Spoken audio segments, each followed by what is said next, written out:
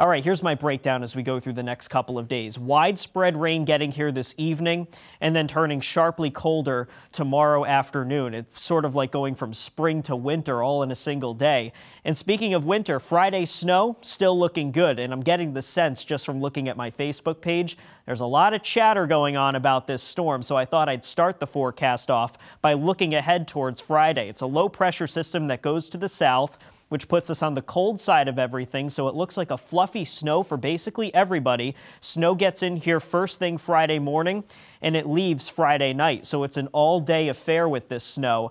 And this is an early call, still a little too early for specific numbers. But I would bet on at least three inches of snow for the northern half of the region and more snow to the south. Could be talking about six inches plus across most of southern Vermont and the mountains likely pushing double digit snowfall.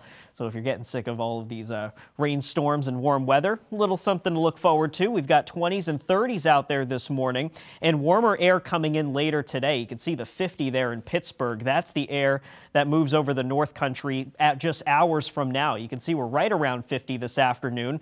Many dry hours and then the rain gets here for the evening commute and it will be coming down steadily. I mean, there's a lot of moisture to work with as you look off to the middle part of the country. Dry for now, couple freezing rain showers in the St. Lawrence Valley. Otherwise, no big issues as you're stepping out the door this morning. Here comes the rain knocking on the door by about 4 o'clock tonight and overspreading the region through the first half of the overnight. When all is said and done, I think it amounts to about a half inch to three quarters of an inch. And then we start off your Wednesday morning mostly dry. So not a lot of rain, but it could be enough for a localized ice jam concern. I still think the concern was higher last week, so the flooding risk a little lower this time around. 52 for an early high on Wednesday, but 30s by the afternoon, going down to 22 on Thursday. That day is pretty quiet before the snow gets here on Friday. Back to you.